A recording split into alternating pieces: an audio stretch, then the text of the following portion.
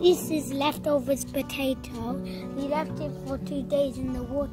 So now we are gonna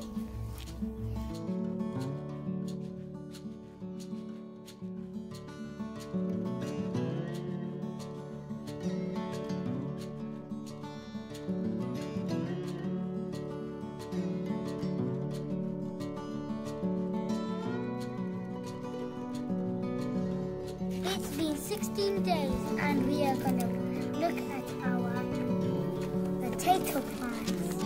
They have they grown all their leaves and we planted four. In the in the last episode we seen how we we seen the roots uh,